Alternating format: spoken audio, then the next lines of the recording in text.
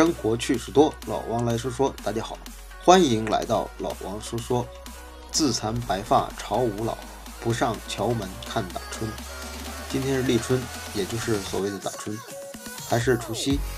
现在的生活越来越好了，老祖宗的理论几乎都被我们忘光了。啥是打春？为啥打春？老王是一点都说不上来，更不用说几时打春。一年之计在于春，作为二十四节气中的第一个节气，立春的地位相当高。老王特意查了一下，今年打春的时辰是二零一九年二月四日十一点十四分十四秒，也就是从这个时辰开始，直到二月初二龙抬头的日子。按照老规矩，我们就不能剃头了。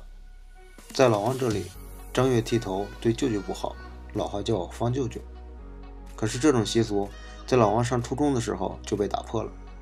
那时候学校强制我们剃头，是注重了仪容仪表，可是慢慢的老习俗连记忆都快没有了。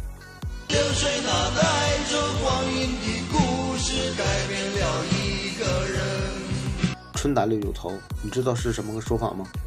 老王都忘了是唱戏听来的，还是相声小品听来的。表面的意思应该就是打春一般会在六九的第一天。问题来了。这个五九六九到底又是怎么来的呢？原来是从冬至算起，以九天为单位记日子。惭愧了，长这么大从来没有往明白了搞懂过，也不过就是听长辈念叨几九几九了。至于为什么这么算，老王仍是一头雾水。我们女人一直都特别想对男人们说一句话，就是为什么这么简单的事情你们都搞不懂？除了打春以后不剃头，立春还是有很多说法的，咬春、巨蟒神、鞭春牛等等。地域不同，形式也不尽相同。春天来了，今天又除夕，全家团圆的日子。在这里，老王祝大家万事亨通，阖家欢乐，万事大吉。恭喜呀，恭喜，发呀发大财。英文怎么说？Happy Spring Festival。生活趣事多，老王来说说。我们下期再见。